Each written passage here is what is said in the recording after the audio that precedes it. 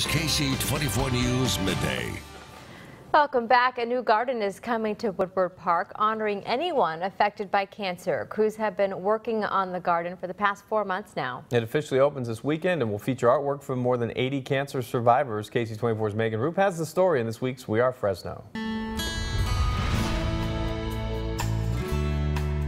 Each step has been part of a journey for Pamela Stevens. She was diagnosed with breast cancer one year ago after finding a lump on her breast. Within 24 hours, they had sent me in to go get a biopsy on it, and within four days, I had the result of you have breast cancer. It was her 15th wedding anniversary thinking of my children and, and my husband and what this is going to mean for my family. Then she met Dr. Christopher Perkins, the man behind the Art of Life Foundation. Our mission is to inspire people impacted by cancer to connect and heal through creative expression. The foundation broke ground on its latest project just a few months ago, the Art of Life Healing Garden at Woodward Park. We want this to be a place that you come to um, before or after treatment, or maybe to celebrate a special um, landmark in your cancer journey, or maybe to remember someone. Featuring art from survivors themselves.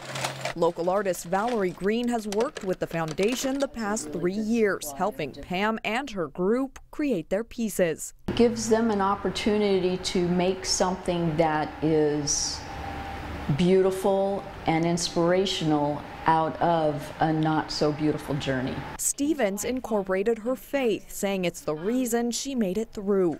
Now she'll be sharing that journey with the entire community. I thank everybody from Christopher Perkins, California Oncology, and everybody at the Art of Life for giving us hope in our survivingness. In Fresno, Megan Roop, KSEE24 Local News that matters. All right, well, two